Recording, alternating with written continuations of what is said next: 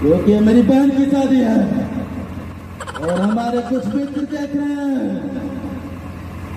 जय। तो मुझे छोड़ के कहा चले गए थे? जय। मेरा ये भाई रास्ते में छूट गया था। फिर मंदिर से पैदल आ रहा हूँ मैं।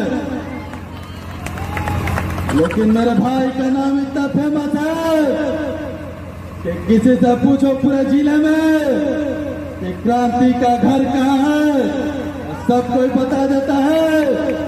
बलेश्वर मंदिर के पीछे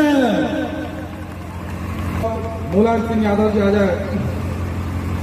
हमारा उत्तम पद काम हम कहाँ चाहते कि स्थिति है सारी समूह? सब आप लोग बीच में आप लोग कहना चाहता हूँ खुशी का समय है लोग रोज तालियाँ से स्वागत करिए ये अच्छी बात है हमें सब भाषा लोग समझ जाए और हमारी भाषा को समझता नहीं है। यहाँ पे अटल बिहारी वाजपेयी जी, मैं गीत नया गाता हूँ, मैं गीत नया गाता हूँ, और कुआरे पर कला भी है कि मैं पलंग के दोनों साइड से उतर जाता हूँ, मैं गीत नया गाता हूँ। इसके बाद राहुल गांधी जी, कांग्रेस पार्टी का अध्यक्ष। देखिए भैया भैया, मैं आप लोग से कुछ कहना चाहता हूँ। भैया, बस एक बार मेरी सरकार बनाने दीजिए।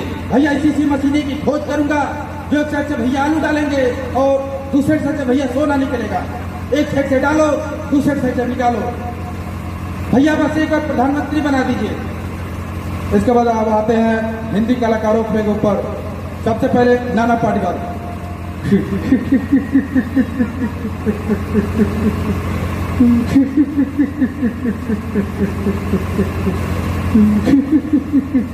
गए मेरी मौत का तमाशा देखने जो मुझे लगता देंगे ज़ुबान इसी बार आ गया के बार आगे। थोड़ी देर लटकते रहूँगा, फिर एक तुम्हारा भाई मुझे नीचे उतारेगा। फिर अब करते करते, घर चले जाओगे, खाना खाओगे, सो जाओगे। तुम्हारी ज़िंदगी में कोई फ़र्क पड़ने वाला नहीं। अंधेरे बनाने की आदत पड़ी है तुमको, गुलामी करने की आदत पड़ी है। पहले रजाओ मर जाओ तो गुलामी की। अब चमकादार नेता और गुंडों के धर्म के नाम पर ये तुम भगाते हैं और तुम एक दूसरे के गले काटो। काटो! काटो! ऊपर वाला भी ऊपर से देखता होगा तो उसे शर्म आती होगी। सोचता होगा, मैंने सबसे खूबसूरत चीज़ बनाई थी। इंसान! इंसान! नीचे देखा तो सब कीड़े बन गए कीड़े। फेंकते रहो फटते रहो, मरो, आयो गए, खेल खत्म। क्यों जय मालूम नहीं, क्यों मरे मालूम नहीं। कलम वाली भाई क्रांति लाना चाहते थे। कलम के जो पदकाले वर्तमान को खत्म करना चाहते थे।